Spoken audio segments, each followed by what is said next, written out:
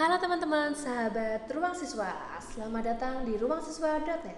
Kembali lagi bersama Kak Laras sebagai mentor fisika untuk membahas soal-soal yang sulit menjadi sangat mudah. Kali ini Kak Laras akan membahas soal tentang angka penting. Nah, langsung aja ya. Di sini ada soal hasil pengukuran plat seng diperoleh panjang 1,50 meter dan lebarnya yaitu 1,20 meter. Pertanyaannya, luas plat seng menurut aturan penulisan angka penting adalah Nah, sekarang kalau harus tuliskan di sini ya. Di mana plat seng berarti ini ada panjang ada lebar. Berarti biasanya berbentuknya persegi panjang. Oke. Ini ya dengan panjangnya 1,5 dan lebarnya 1,2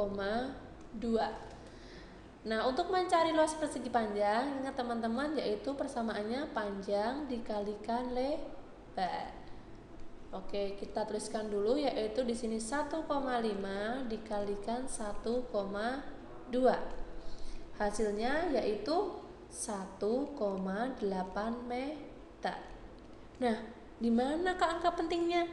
Oke, kita bahas ya. Masih ingat nggak teman-teman tentang aturan angka penting? Jadi, semua angka ini ya, kalau harus tulis di sini, semua angka yang bukan nol, oke, itu adalah angka penting. Dari soal ini ya, kita ketahui dulu panjang. Oke, di sini panjang 1,5. Jadi semua angka yang bukan nol itu angka penting. Jadi di sini ada dua angka penting satu dua nah di sini lebarnya ada berapa teman-teman? Ada satu ada dua. Jadi di sini juga ada dua angka penting. Oke. Nah kemudian untuk aturan angka penting perkalian itu gimana sih Kak Laras?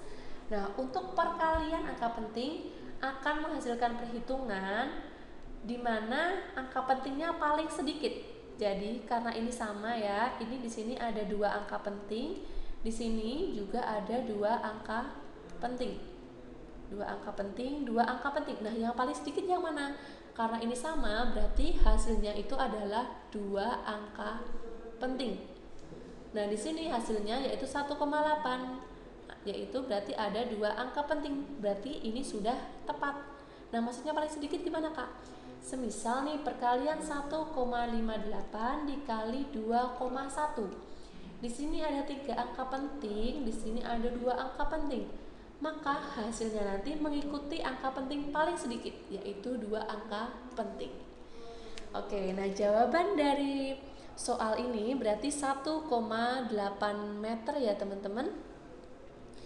Nah di sini sama ya karena ini G atau E Oke.